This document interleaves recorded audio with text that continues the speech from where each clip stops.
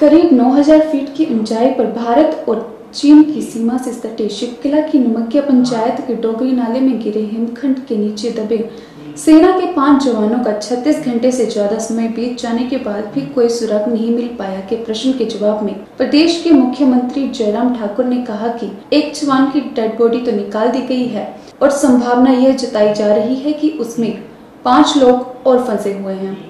उन्होंने कहा rescue operation के लिए सारी टीम गई हुई है और उसमें लोकल प्रशासन भी सहयोग दे रहा है। लेकिन वहाँ की परिस्थितियाँ इतनी कठिन है कि जिसके कारण वहाँ रेस्क्यू ऑपरेशन करने में बहुत भारी दिक्कत आ रही है। लेकिन फिर भी सरकार का प्रयास है कि जो भी सहयोग आर्मी और आईटीबीपी आईटीबीपी को रेस्क्यू ऑपरेशन में दिया जा सके, वो देने की कोशिश कर रहे हैं। मुख्यमंत्री ने कहा कि उन्होंने प्रशासन को आदेश दे रखे हैं। था।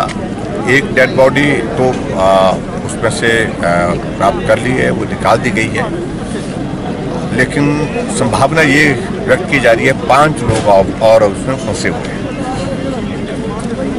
रेस्क्यू ऑपरेशन के लिए सारी टीम गई है लोकल प्रशासन भी उसमें सहयोग दे रहा है। लेकिन वहाँ की परिस्थितियाँ इतनी कठिन हैं जटिल हैं जिसके कारण वहाँ रेस्क्यू ऑपरेशन करने में बहुत बड़ी दिक्कत आ रही है।